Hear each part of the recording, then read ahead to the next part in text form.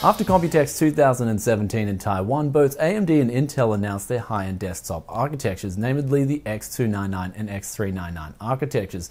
Now, Intel have already introduced their $1,000 7900X CPU, which I've already reviewed here on the channel.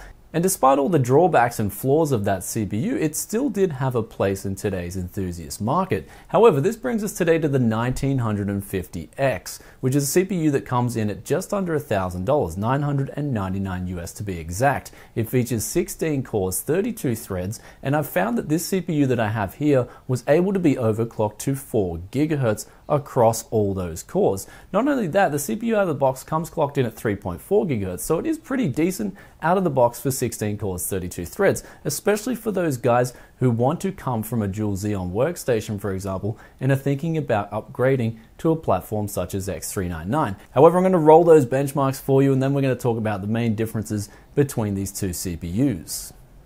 Looking at the test bench specs used for this comparison, we have the X399 Gaming Professional from ASRock. This is a board that worked perfectly out of the box, and without this motherboard, I wouldn't be able to do this comparison. So big thank you to ASRock for this motherboard. It currently costs around $440, or if you're in Australia, around about 670 AUD. So I'll put the links in the description below for that. And then lastly, for the cooling solution, we're using the H100i V2 from Corsair. Now we had to actually change the bracket around from the stock bracket to the included bracket for Ryzen and since this is an Asetek based circular model it was able to fit with ease. However keep in mind that other coolers may have problems fitting to the X399 platform and the H100 was the only cooler that I could use.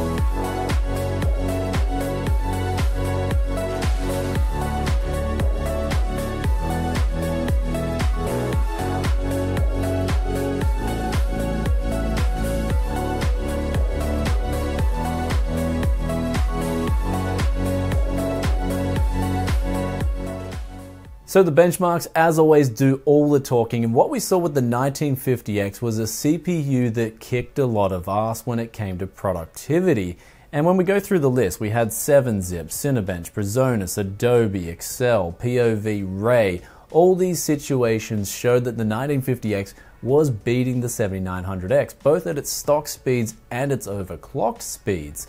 And that was really good because for $1,000, if you're spending this amount of money on a CPU, then you probably will want it to perform really well in productivity. I'd imagine someone who has the money to spend both on the CPU and the more expensive motherboard costs, which we'll get onto a bit later in this review, I'd imagine if you're spending that amount of money, you'd want to be saving time, where the absolute performance and that price performance premium over something like a Ryzen 7 1700 and a B350 motherboard, for example, is justified because that amount of time you're saving is going to be worth more than the additional cost of the 1950X.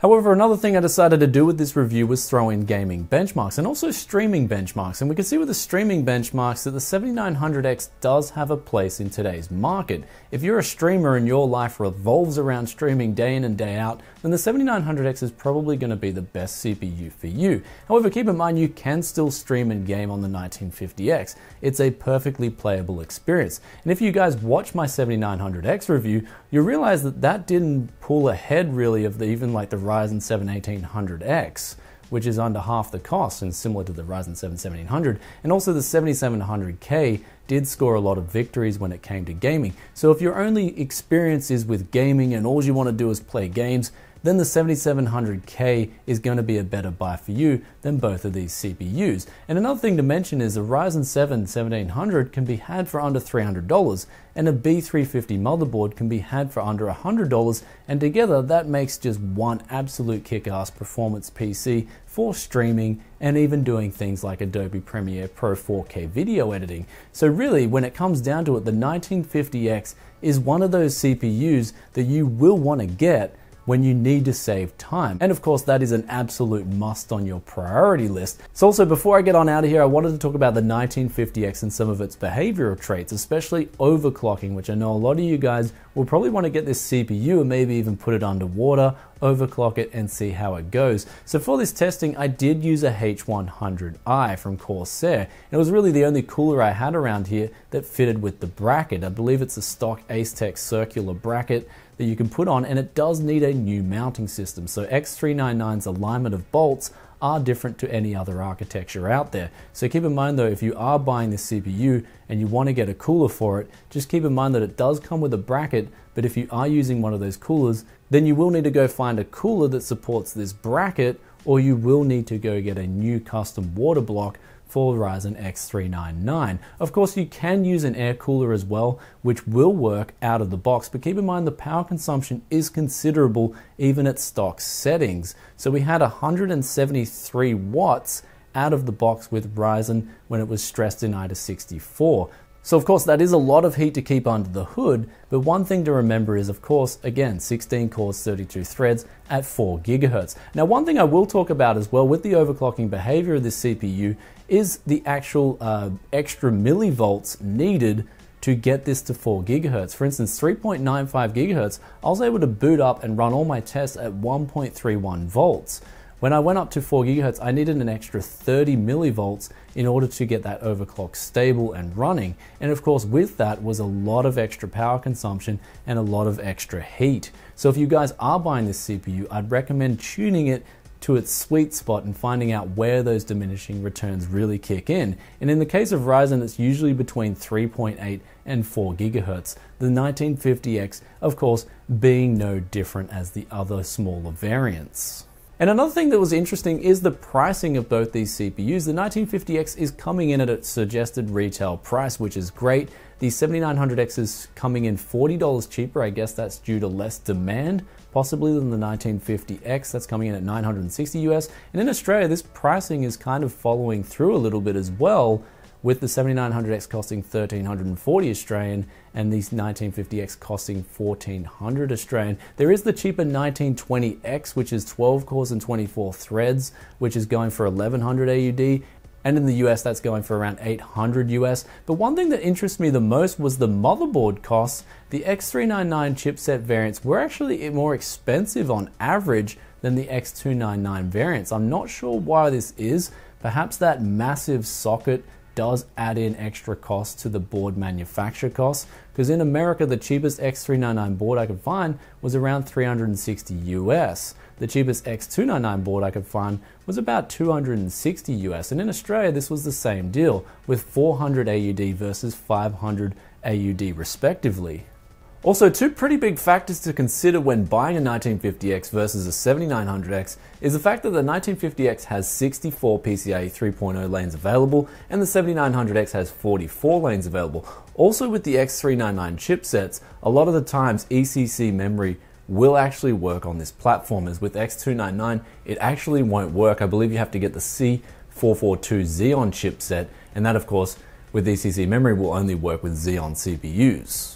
So now it's time for that final verdict where I'm going to tell you guys which I think is better in what scenario. And the 1950X is for that person who needs those cores and needs those threads. You can get it up to 4 gigahertz And as you saw in the Cinebench, the max theoretical performance out of this thing is absolutely incredible. So if you need the cores, you need the threads, and you need it for those workstation or productivity applications, then 1950X Threadripper CPU is going to kick a lot of ass. The 7900X, however, of course, it doesn't perform as well because it only has 10 cores and 20 threads, though it does have better IPC and it does clock higher. And I found for someone like a streamer, it still does have a place in the market. Of course, though, I will stress this before I get on out of here. Both these CPUs are very expensive investments, so you will want to know which one is best for you before you pull the trigger on either these CPUs.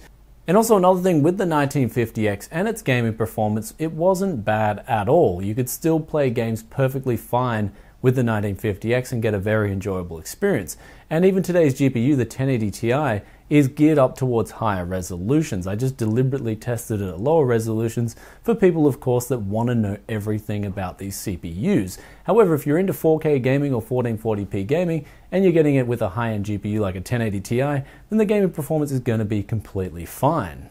So anyway guys, hope you enjoyed today's review of the 1950X and the comparison against the 7900X. If you did, then be sure to hit that like button and let me know in the comments section below if you had the choice between getting a 1950X and a 7900X, which would you get and why? Love reading your comments as always, and I'll catch you in another tech video very soon.